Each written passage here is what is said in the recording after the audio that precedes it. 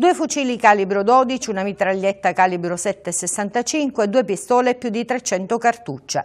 È quanto hanno rinvenuto all'interno dell'abitazione di un ottantenne incensurato i carabinieri della compagnia delicata e della stazione di Naro nel corso di un mirato servizio di controllo del territorio tra Palma di Montechiaro e Naro. Le armi e le munizioni erano in ottimo stato di conservazione ed efficienza e dopo il sequestro saranno adesso trasferite nei laboratori dei carabinieri del RIS di Messina per ulteriori accertamenti volti a verificare l'eventuale loro utilizzo per azioni criminose. Al blitz nell'abitazione dell'anziano insospettabile i carabinieri sono comunque arrivati a conclusione di un'intensa attività investigativa. L'uomo, dopo i rilievi segnaletici presso la compagnia dei carabinieri di Licata, è stato arrestato in attesa delle decisioni dell'autorità giudiziaria.